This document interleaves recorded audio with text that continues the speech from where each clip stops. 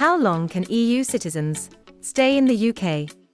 Today's brief update discusses the question of how long can an EU citizen remain a visitor in the UK. According to the present UK immigration rules, European Economic Area and Swiss nationals are permitted to come to the UK border and seek entry as a visitor for up to six months at a time.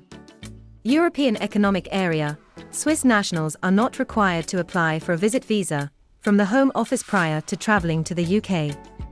They will, however, need a European Economic Area or Swiss passport that will be valid for the entire duration of their visit.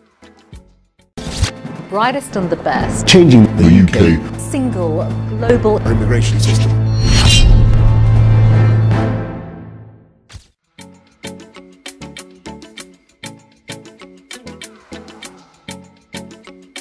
When entering the UK border, the officials of the Border Force reserve the right to question European Economic Area, or Swiss nationals, to comprehend if they are genuine visitors. The individual can be denied entry to the United Kingdom if the Border Force officials doubt that a European Economic Area, or Swiss national, is not a genuine visitor.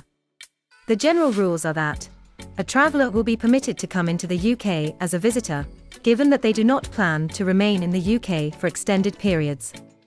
Also, they must not undertake any prohibited actions in the UK, which includes work, and have sufficient finances to support themselves in the UK, without resorting to public funds. These individuals must also provide proof of enough funds to depart from the UK at the end of their visit. The immigration rules placed a non exhaustive list of grounds for suspecting that a traveller is not a genuine visitor.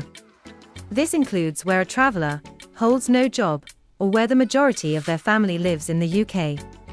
If a European Economic Area or Swiss national is successfully accepted to the UK as a visitor, they will be allowed to remain in the UK for a maximum of 180 days on that particular trip.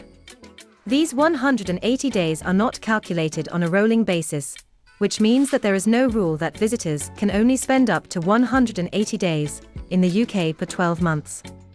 However, scrutiny at the border will probably elevate if multiple visits are made in quick succession, especially if each visit is for a substantial period.